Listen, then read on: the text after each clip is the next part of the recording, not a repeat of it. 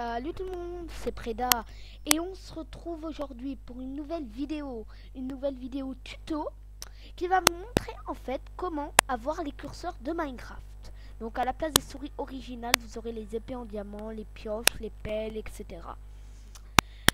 Donc euh, euh, pour, commencer le tuto, eh ben, vous allez aller télécharger euh, sur Mediafire ce dossier, donc curseur Minecraft by XX Predator.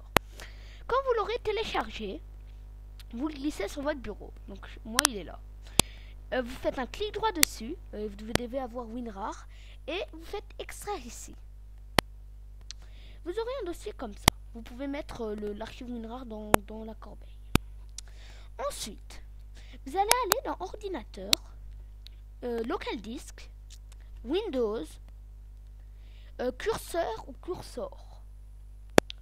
Ensuite, vous allez ouvrir le dossier curseur Minecraft et vous allez glisser tout ce qui est dedans dans, dans le dossier curseur. Donc voilà. Euh, euh, ensuite, vous pouvez fermer. Ensuite, vous allez aller dans contrôle parental.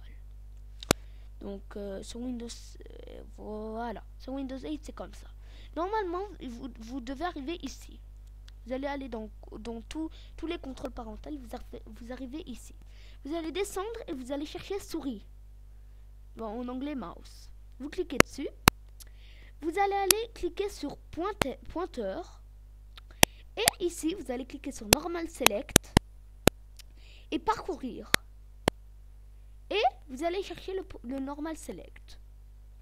Vous cliquez dessus et vous faites Open. Après, vous pouvez faire ce que vous voulez. Euh, après, vous pouvez, vous pouvez mettre à la place de ça une pioche. Mais en fait, comme vous le voyez, tous les noms sont ici. Moi, j'ai mis dans l'ordre. C'est meilleur, je trouve. Donc, l'épée comme souris, le diamant comme occupé. Enfin, voilà. Donc, en gros, après, vous faites tout ce que vous voulez comme ça, avec parcourir. Et comme ça, jusqu'à la fin. Et voilà. Et vous faites appliquer. C'est le plus important à faire. Appliquer. Et faites OK. Et voilà. Donc euh, j'espère que ce petit tuto vous aura plu. Et on se retrouve très vite pour une nouvelle vidéo. Allez, à plus tout le monde.